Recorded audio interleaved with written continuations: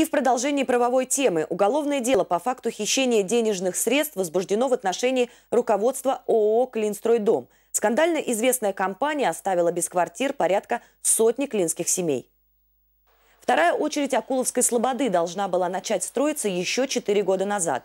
Люди вложили сбережения, кто-то взял ипотеку, но квартир для счастья так и не дождался – всех, кто стал обманутым дольщиком компании «Клинстройдом» в 2012-2013 годах, следователи просят обратиться в Клинское отделение ОМВД по адресу улица Новая Имская, владение 27, кабинет 81 или по телефону 2 11 07.